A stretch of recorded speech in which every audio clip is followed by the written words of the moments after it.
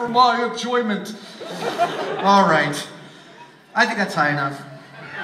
Oh, I will turn this car right around.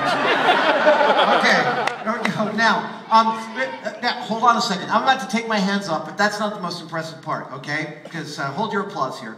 So now I am hanging from just a couple of phone books, and there are those among you, I know because I've read the tweets, that might believe that somehow I've installed surreptitiously a safety between these clamps and these clamps. But nothing could be further than the truth. All I did was I taped the covers on so that they didn't delaminate. Uh, if they do delaminate, then I do fall and get seriously hurt. So the tape right now is saving me by keeping the phone books from going. But I can do the same thing just by holding it with my hands. So to show you, I'm actually going to tear the covers of these phone books off right now and demonstrate that it is nothing but paper holding me up. That's it.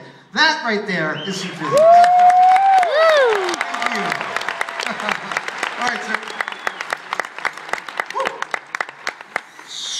Ah, two nights ago, I busted my lip doing this. All right, here we go. You know, I like to think of this as sort of akin to climbing a ladder, right? Like, you climb a ladder, you're high above something. If you fell, it would be bad, but your knowledge of the fact that you're not going to let go is what saves you. And the same thing goes here. My knowledge of the power of these phone books, but just in case you were wondering, here's how close the delamination is to letting me go. You guys did a really good job.